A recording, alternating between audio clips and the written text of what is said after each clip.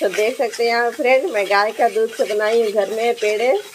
तो देख सकते हैं अभी ये पूरा सूख चुका है, मैं चीनी डाल दी हूँ। तो चलिए, इसको पूरा बनाने के बाद आपको दिखाती हूँ कि कैसा मेरा पेड़ा बना है। तो आप लोग भी घर में ट्राई कीजिएगा, अगर आपका दूध बच जाता है तो आप लोग भी पेड़े बना सकते हैं। और ये बहुत ही खूबसूरत पेड़ा बनेगा, और घर का पेड़ा है तो बहुत ही स्वादिष्ट लगेगा। तो चलिए, मैं आपको बना के दिखा देती हूँ। देख सकते हैं फ्रेंड कुछ इस तरह से मेरा पेड़ा बन के रेडी हुआ है। तो देखिए ये अब खोटा लगना शुरू हो गया है।